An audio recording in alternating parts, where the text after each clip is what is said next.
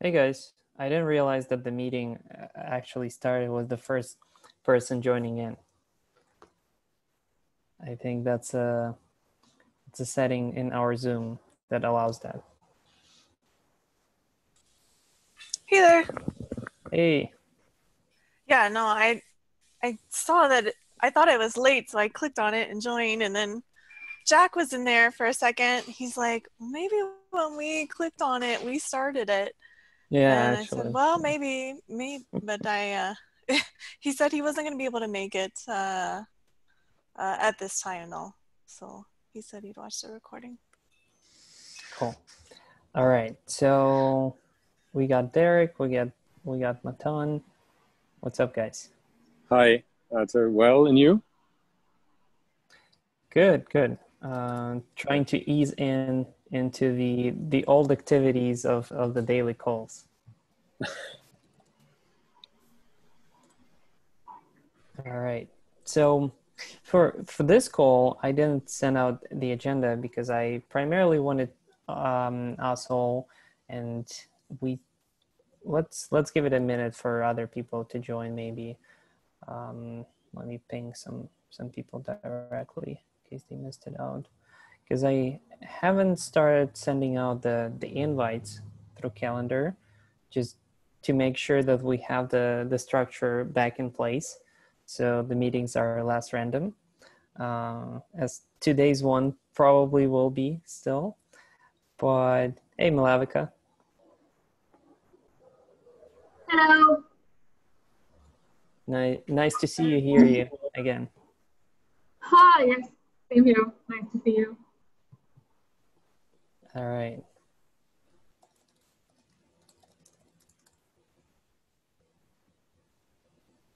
Cool. So as you guys probably seen, we reactivated the the progress document. So the the goal for this was to to re- reactivate the list of all the projects and get the updates on what's happening on which.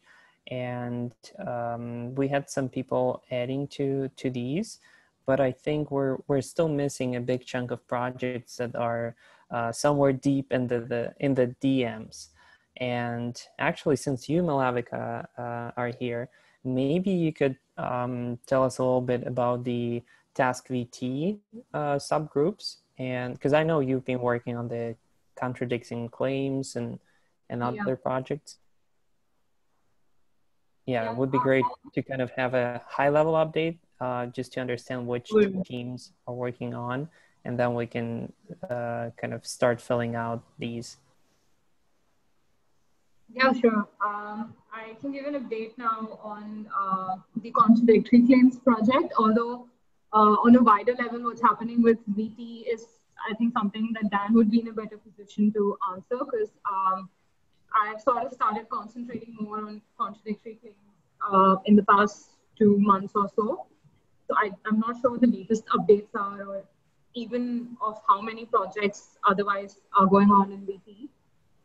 Um, so uh, with contradictory claims, uh, the high level update is that we're getting closer towards um, uh, being able to publish our results in a conference or as a paper. Um, and we are at the moment um, sort of uh, waiting on some annotations that this company called Roam Analytics is helping us with. So what they're doing is um, what we've done is we've um, given them a set of uh, claim pairs and we're using their medical expertise and their general um, expertise otherwise with annotations to help us to annotate each of these pairs as contradiction, entailment, or neutral. Um, and we did a few rounds of um, inter-annotator agreements, revising guidelines, and so on with them in the past uh, one, one and a half months. And now, uh, just this week, uh, we sort of scaled it up to a thousand claim pairs that we've sent over to them. Uh, so really looking forward to get their update. And um, once that's done, uh, our next step is really to um, uh, insert those annotations uh, and you know run a train validation round on the models that we've built so far. So yeah, that's where we are at the moment with contradictory claims. That's awesome. Uh, quick question: Which channel do you guys use on Slack? Uh, it's Stas VT hyphen contradictory hyphen claims. Let me just put that on the chat. It's a private channel, so it's uh, joined by invitation only at the moment. Got it. Um, do we want to to kind of create the team contradictory claims uh, public channel so that more people can can join and, and find and uh, figure out what how they can help? Um, that would be nice, but uh, I would say at the moment, since we're really in the waiting phase, uh, we don't have much uh, help that we even need.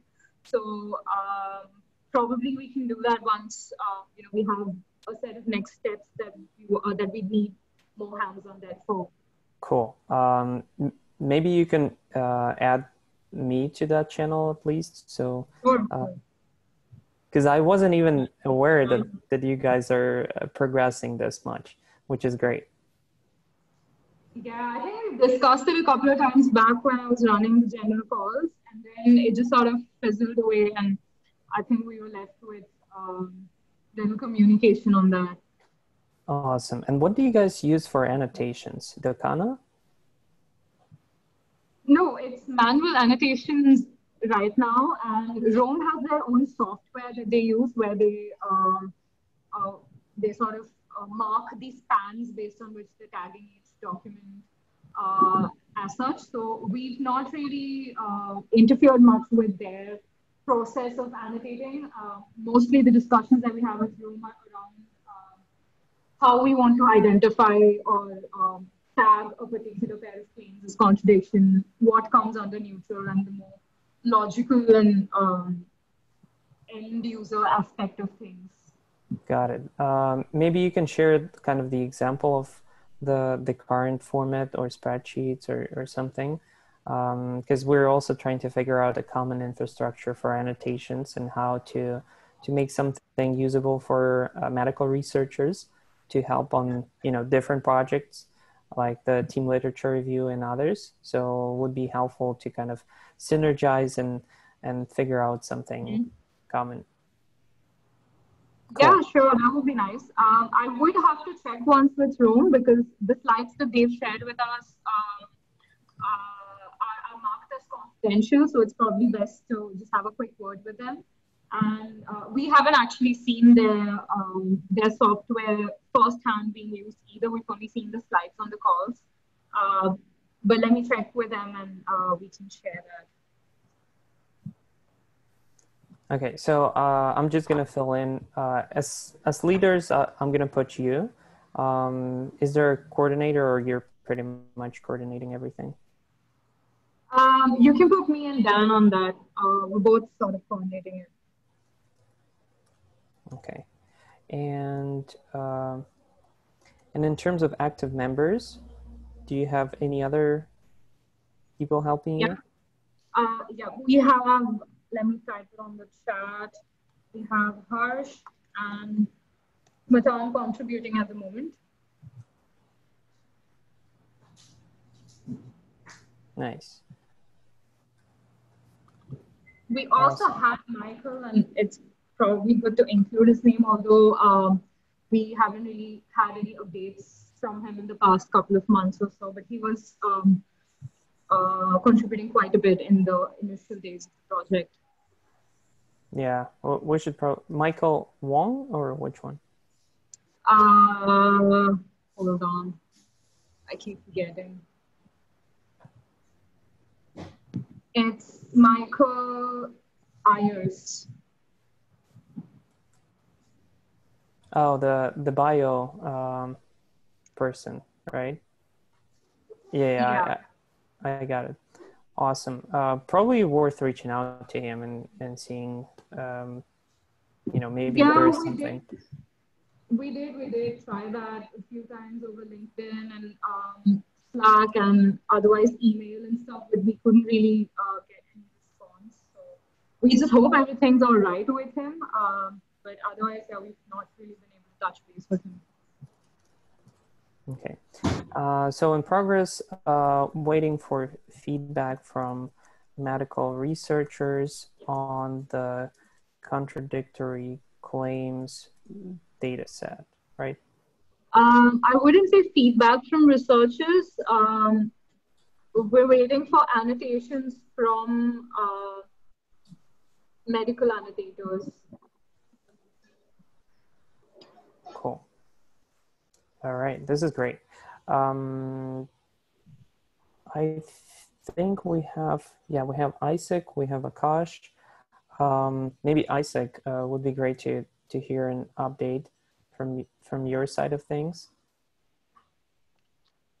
Um, yeah, sure. Uh, so uh, yeah, with us, we're mainly we just got the metadata stuff incorporated. So uh, yeah, for a while we were creating models to fuse uh, kind of demographic data and uh, along with the actual case data and also geospatial data. So um, that was like a major thing, and that was committed to our main repository too. So that can now be, um, well, at least version one can now be used for essentially any time series forecasting task where there's both static data um, and uh, temporal data. So um, yeah, that was the big work.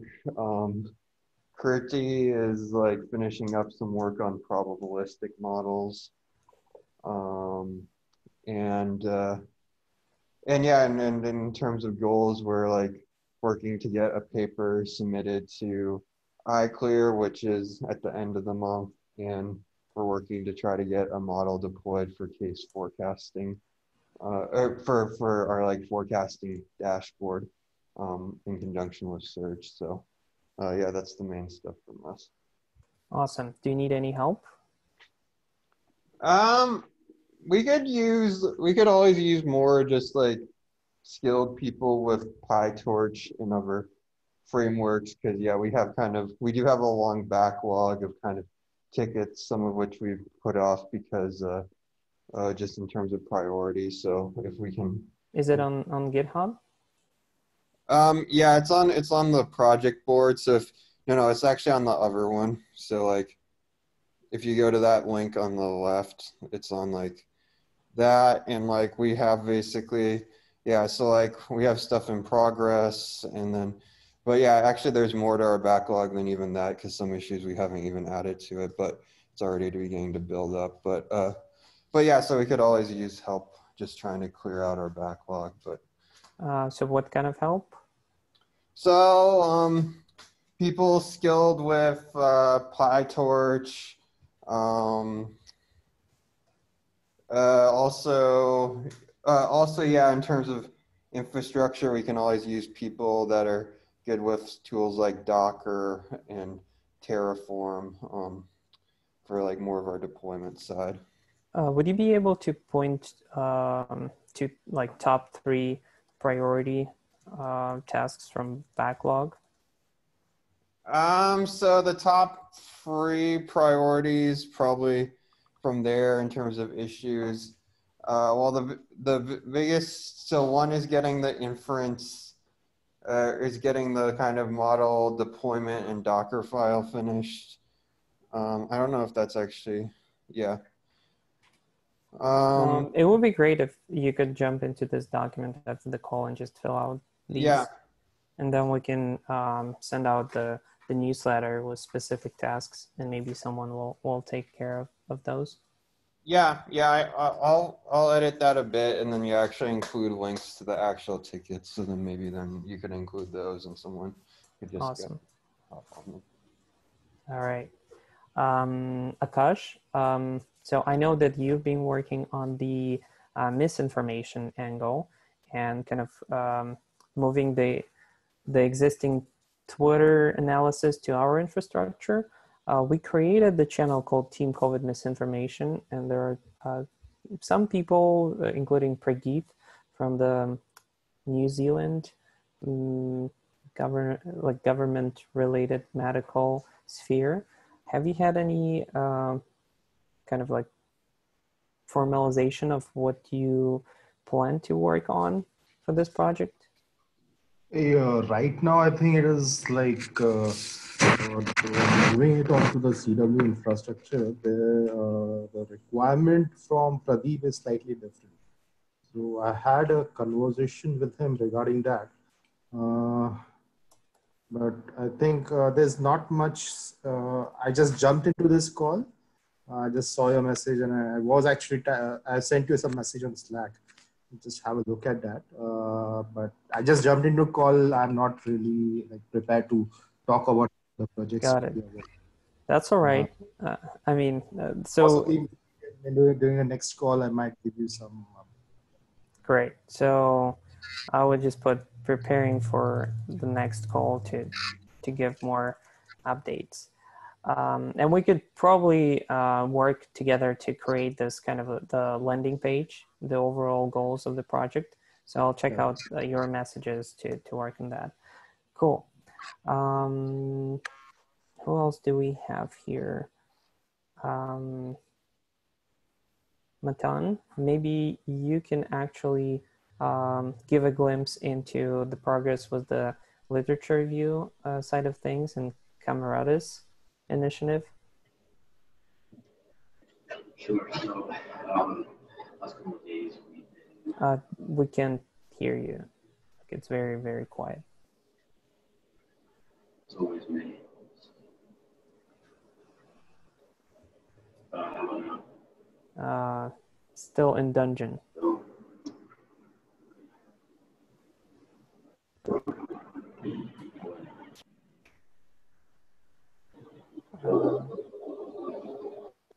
it's like I think it you're using the wrong mic or maybe you have to.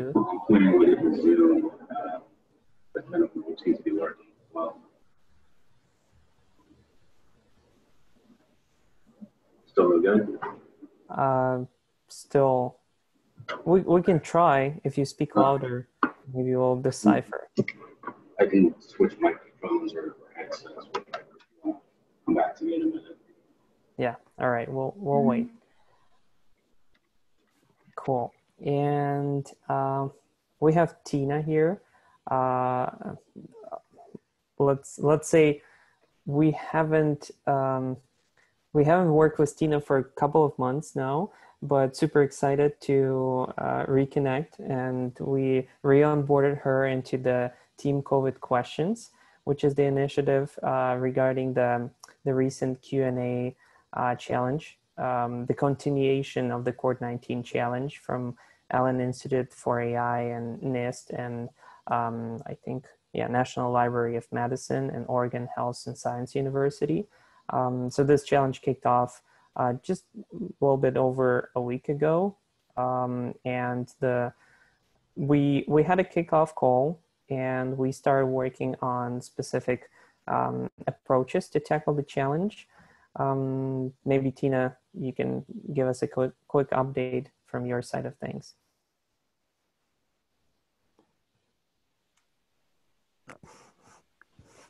Yeah, so um, just starting to get back in with the group, as you said.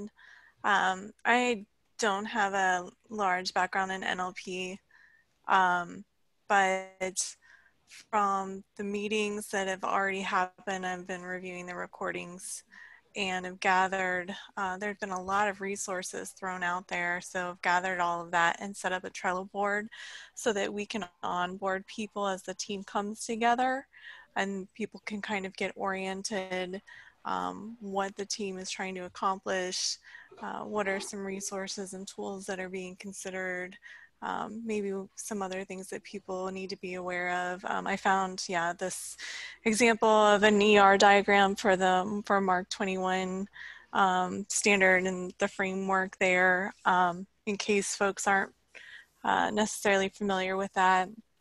Uh, a little bit about what is uh, knowledge graphs. Um, this is yeah. great. Yeah. yeah. This is super helpful for for people onboarding and especially you know all of these like MARC 21 and other standards are they seem to be super complex if you just you know if you've never worked with them but once you get into details it's it's just a format so pretty uh, pretty basic stuff once you get familiar with it Yeah, yeah. So it's it sounds like we've got um, a couple of people looking at uh, trying to get into the Doccano tool and uploading questions and sample data there. There may be a roadblock. Uh, is it is it Shrita? Yeah, I think Uh, we have a roadblock for sure, and um, I think it's primarily because of the the issues with Doccano.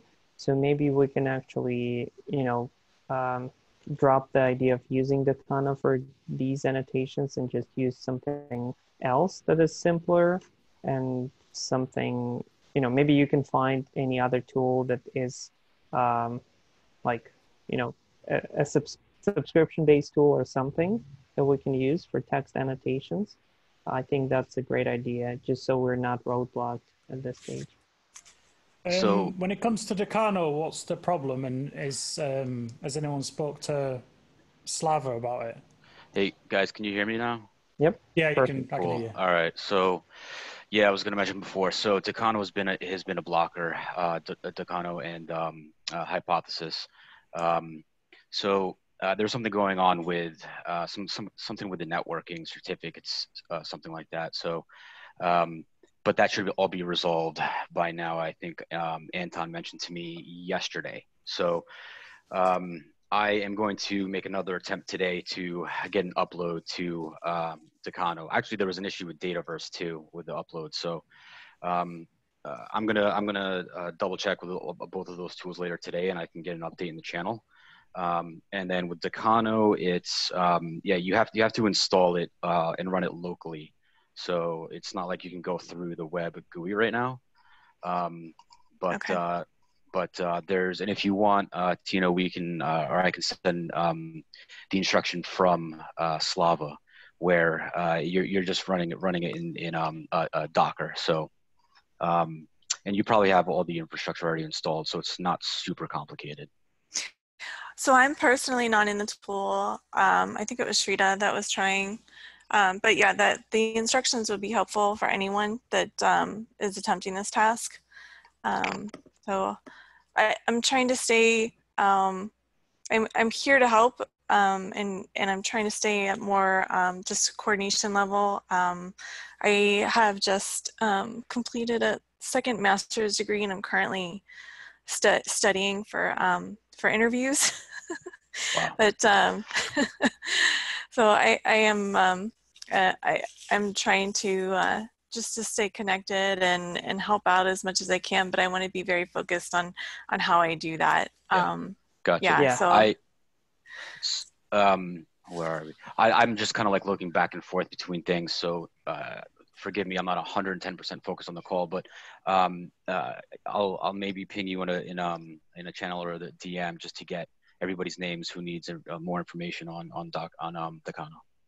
Sounds great. Thank you. Awesome. Thanks, guys. So, Matan, uh, maybe you could uh, glimpse a, a light on the kind of the the current issues or roadblocks on the literature review NLP side of things. Right. So the idea from a couple of weeks ago was to um, just get sort of a baseline process going, and and um, um, yeah, and uh, so that's also about the time that we spoke with Camarades. So we wanted to use their data set uh, sort of as a as a test case. Um, uh, but then we ran into the issues with Doccano and one of the issues um, and the fact that uh, Camarades they they uh, I guess maybe they're perfectionists. They want to uh, complete the work on their data set before they or the complete data set before they share it. So, uh, but but we got um, we got we we got a sample of it. So hopefully today, now that hopefully um, we'll be able to get Docker, um, sorry, Doccano up and running, and then uh, go through a test case um, with um, uh, with Alex, uh, who's been working with it. Um, I think the most so far. Uh, so uh, plan is to go through it, see what makes sense, what doesn't, um, what's intuitive, what's not.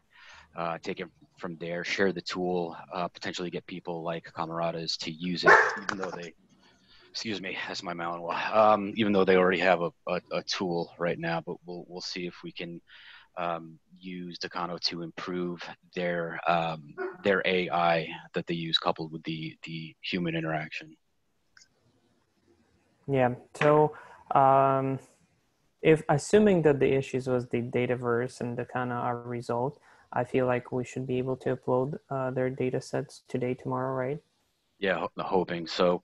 Dataverse, for whatever reason, it wouldn't complete an upload, uh, and then Doccano was just um, uh, not responding. It wouldn't. Um, um, yeah, from the command line, it, it wouldn't, uh, the, the Docker compose file just kept on throwing errors. So later today or after this call, I'm going to see if they're working now. Uh, and if they are, then, you know, I'll update everybody um, and uh, we'll be able to start making progress.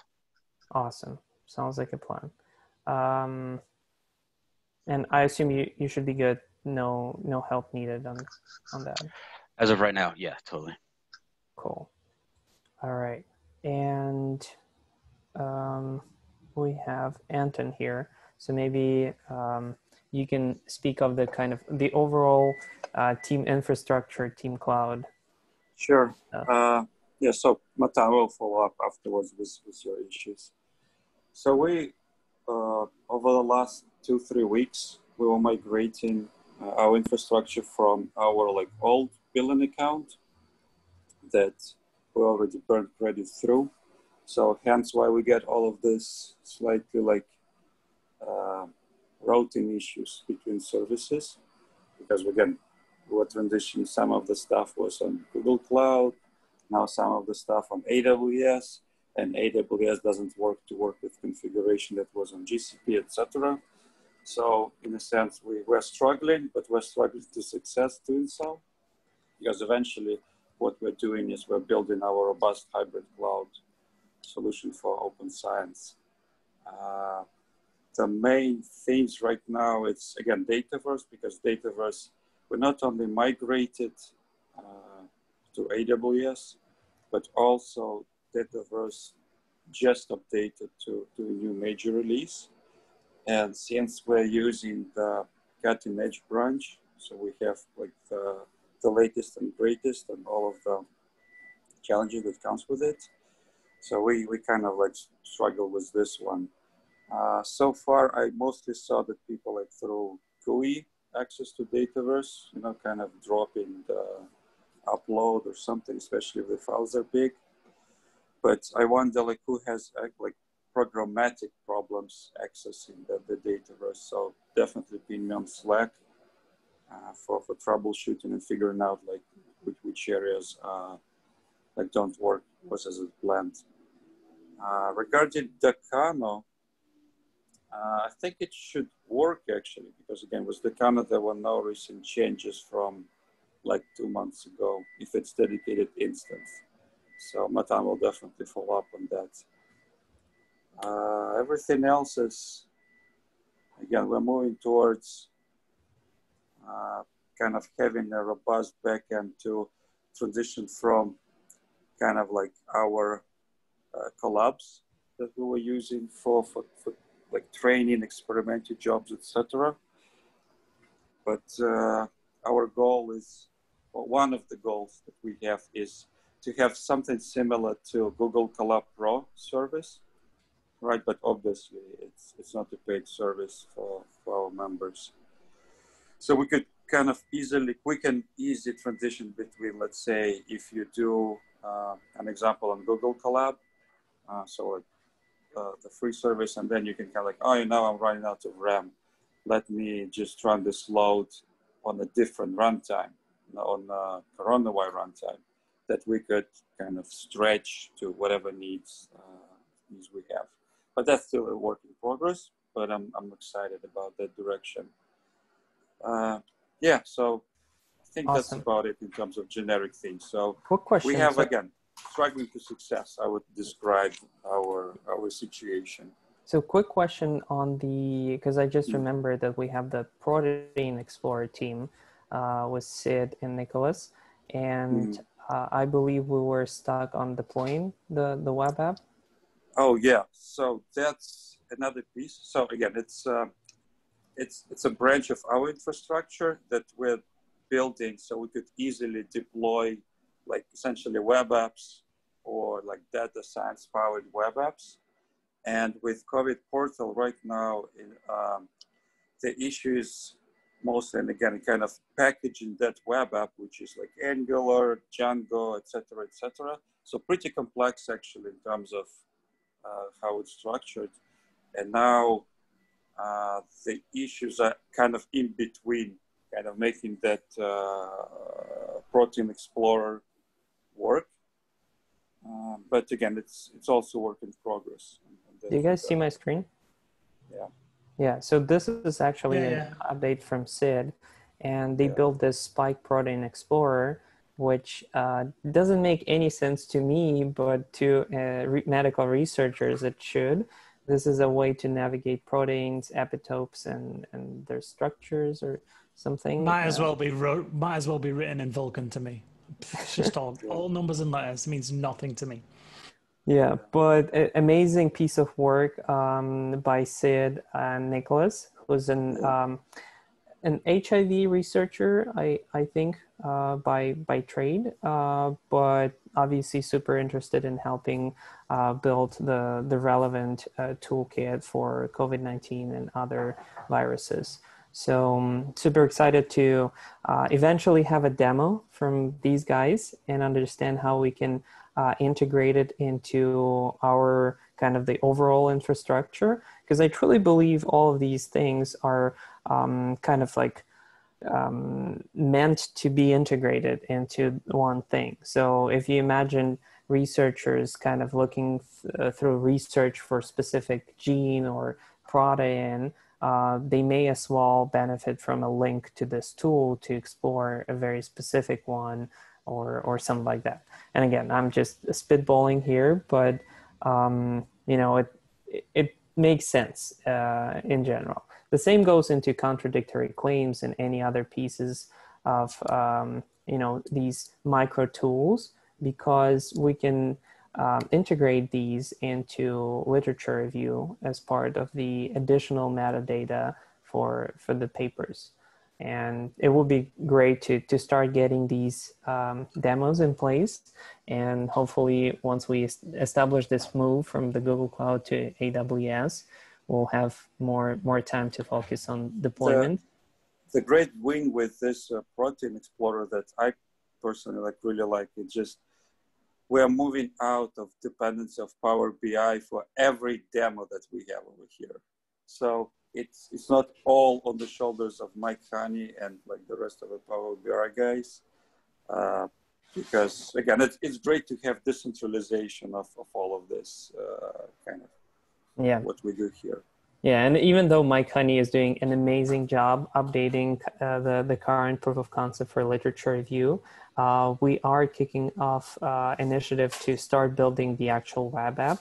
And we had Dylan um, rejoin us, uh, also have been absent for a couple of months, but finished his uh, degree and ready to help us start uh, building the the actual web app to integrate all of these uh, all of these pieces of the literature review. Would would a web app um, move away from using something like Power BI and into a custom made technology rather than just a, v, a BI?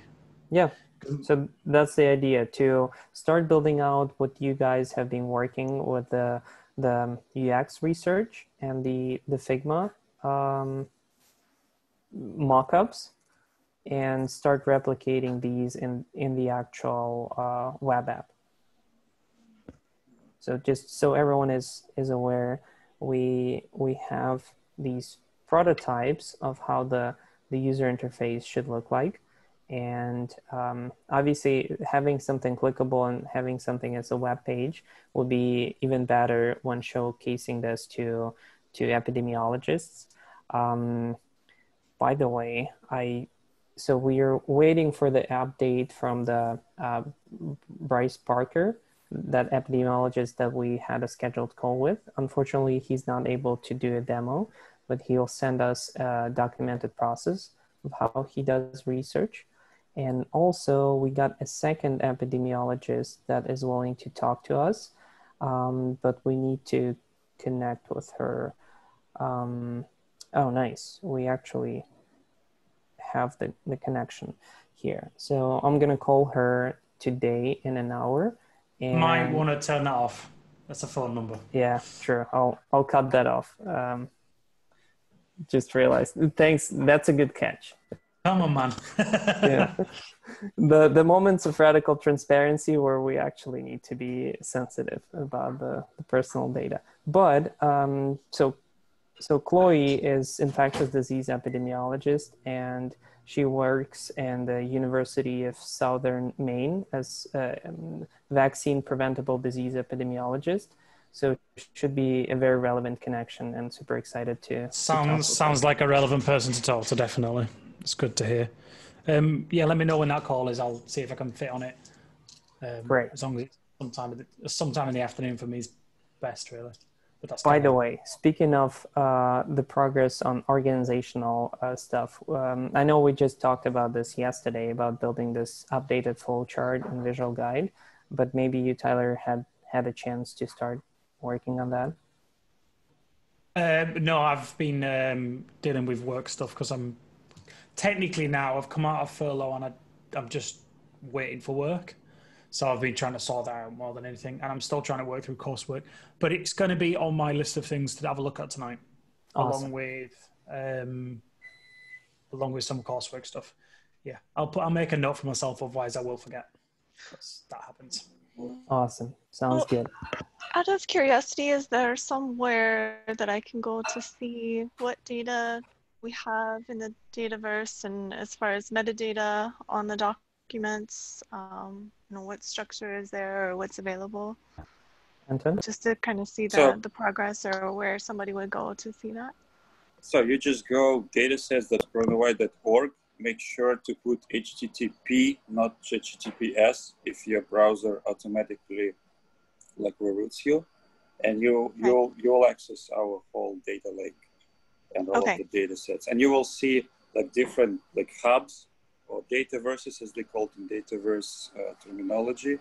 And they, we don't have fully organized it well, but mostly, for example, like if you're interested in seeing what uh, our historical analysis team is doing, you will see like pandemics in history, for example. If it's, uh, for example, like guys from Decipher that are working on uh, also annotation and stuff, you will see the Cipher Hub, etc. So again, it's there is like this some folder structure, etc., etc. You will probably navigate it pretty quickly. It's a good system. Great, thank you. Uh, what's the problem with the um, what's the problem with the security certificate at the moment? Uh, so AWS is for whatever reason don't issue the new one. So whatever everything is like whatever is hosted on, on AWS right now, which is our data set at coronawhy.org that was previously hosted on GCP. AWS doesn't want to issue new certificates because something is still blocking it doing so from Google end because it's different uh, authority like uh, like centers that issue them. So if you're on one cloud, you kind of depend on that one. And since before it was on Google, now we're moved to AWS and something still haven't propagated yet. So AWS can get a hold of like, oh, you actually own the domain, so we can't give you a certificate. So something like this, Maxim and, and, and I are working on like how to avoid relying on, you know, like cloud providers as authority issuing entities, but having our like other solution from di- like different third party that independent of this mess. So every time we do like this, something vendor locks us, and we're essentially suffering the consequences since we're like open source, open, and uh, struggling to success. This is my mantra for last couple of weeks. For that reason, the struggle is real. All right, guys. Uh, thanks everyone for jumping in. Um, great call. I think a great ease in into regular activities. And for any, anyone that is listening to the call, if you feel that your team is missing and we're not aware of something happening, just add it to the sheet. It's open for editing.